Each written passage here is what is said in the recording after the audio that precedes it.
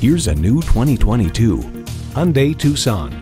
Built with an eye toward fuel economy and a right foot toward performance. It comes with all the amenities you need.